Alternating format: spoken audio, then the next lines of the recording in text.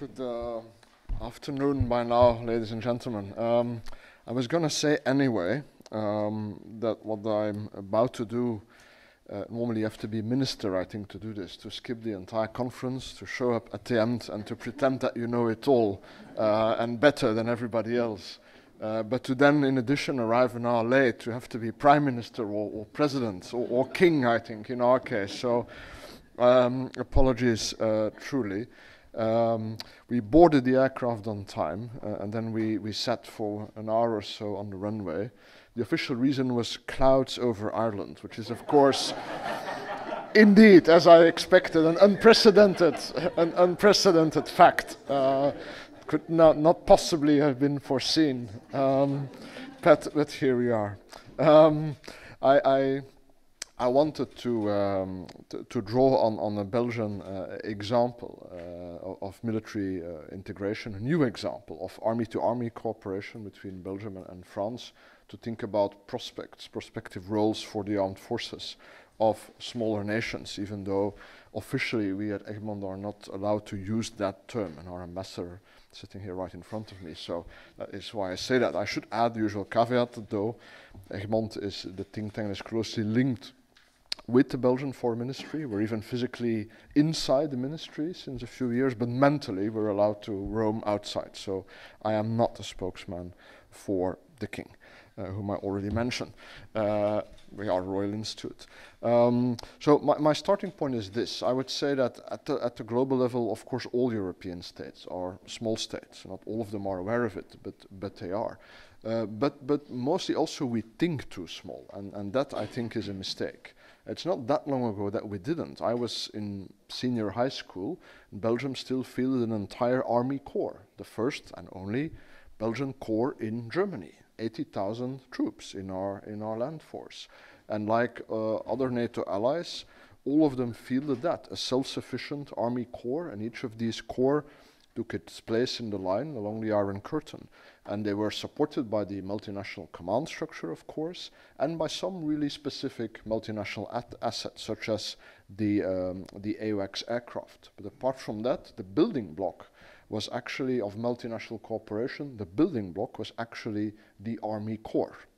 And of course, we abolished conscription just in time for me to escape it, I shall add, because much as I enjoy thinking about the military and, and lecturing to the military, I don't think I would have been very good uh, in uniform myself. You know, a man must know his limitations, um, said a great philosopher uh, on, on the big screen. Um, we reduced the budgets, etc., etc. And result is that now many European countries think really, really small. Huh? If, if, Belgium thinks of contributing to an operation in a UN, EU, NATO, or ad hoc context, a battalion is already an enormous deployment. That's a really big deployment. Very often, when European states consider contributing to an operation, we think about, well, we might contribute a company. Uh, but that, that doesn't always work, so it could also be, be a, half, uh, a half company. Uh, and that, I think, is, well, totally not cost effective. Uh, and often also it's operationally uh, not as effective as it could be. So my, my, it seems to me that we have sort of gone too far. You know? I'm of course not advocating to, to reintroduce conscription, uh, now that I've escaped it, uh, nor to reconstitute the Belgian corps in, in Germany. But I'm thinking that we should reconsider the building block. If you accept my starting assumption that the solution to this fragmentation of our defense effort is integration, but then the building block should be bigger than, than what it is. Uh, the building block cannot be a company or cannot even a battalion, which is often thought to be, right? If you think about European defense, many people speak about the EU battle groups, which are basically that sort of reinforced battalion, companies coming from different countries and enablers around it. You're not going to do much with the battalion. You know, you you're not you're not going to do anything today with with a battalion.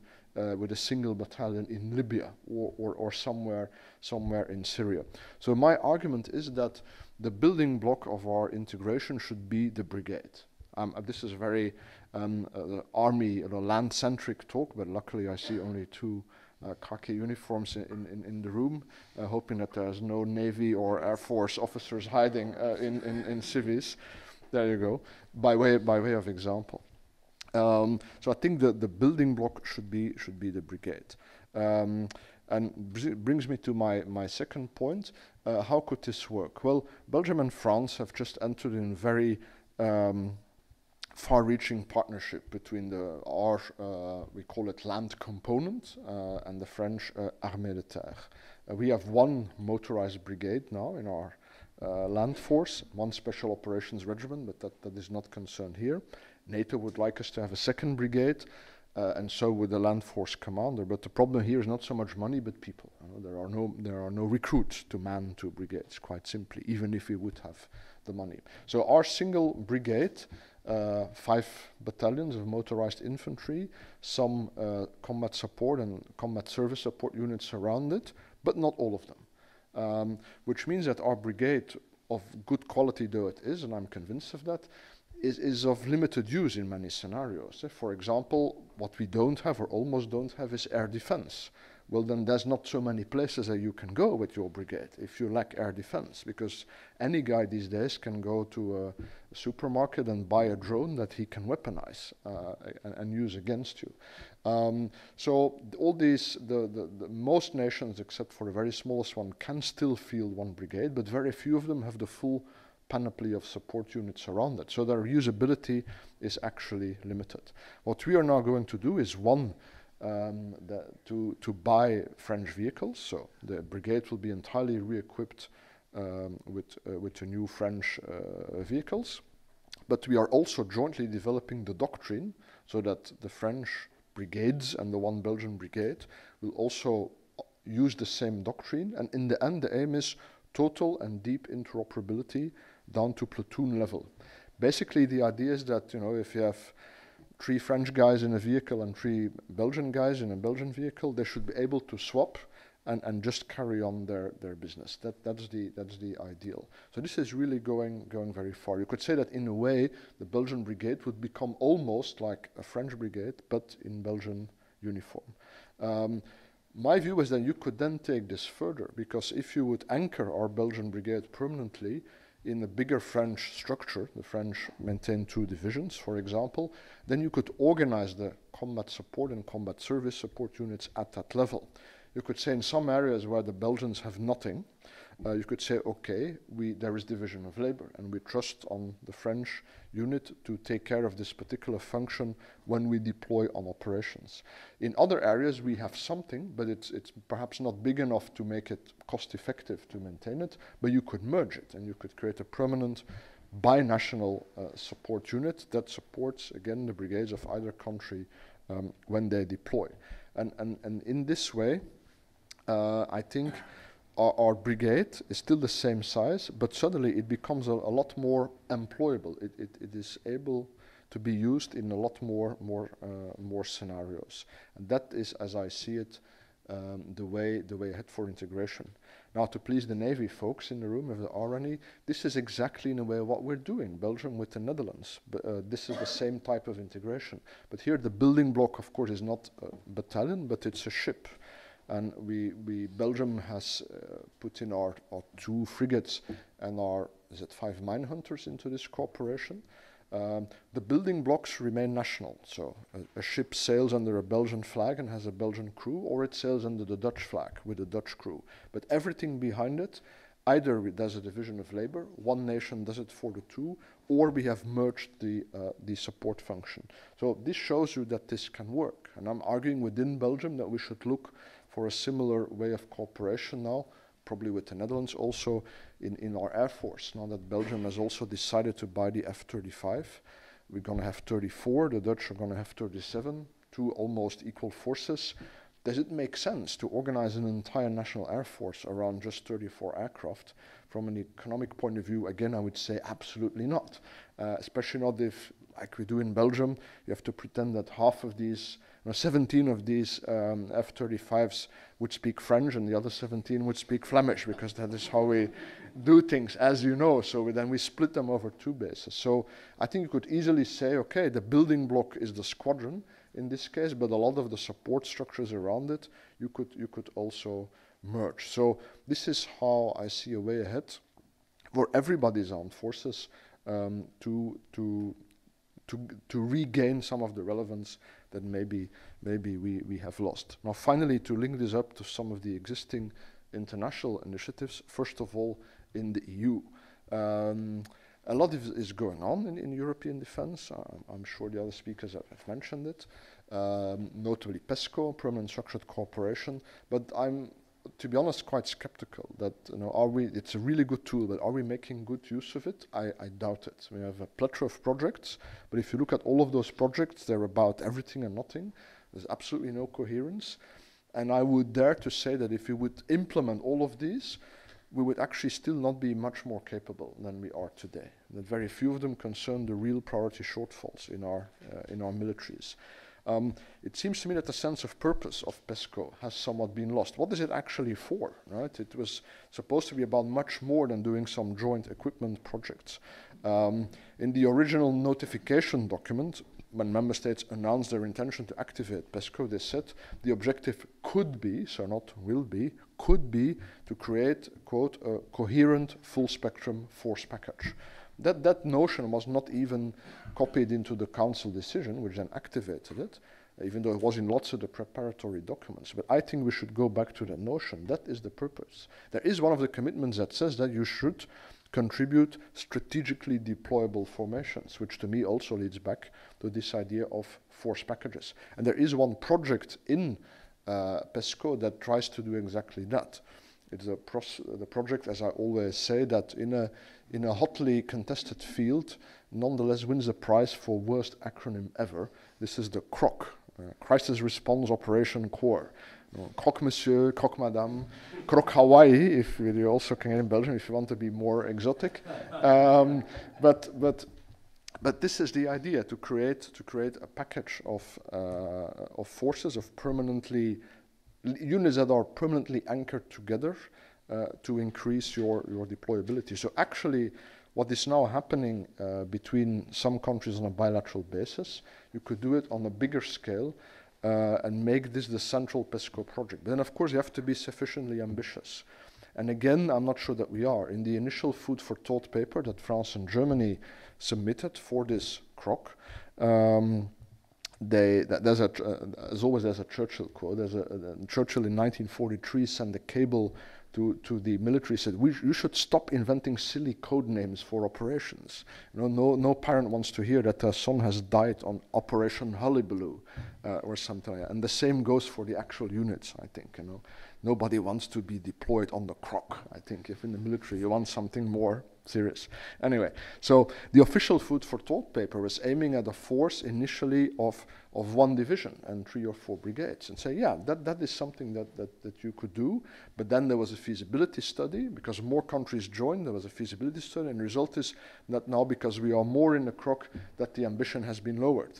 So now thinking, oh, let's make a brigade. But we don't, you know, we don't need that. Belgium has a brigade, so we don't need the EU to create one. We have one.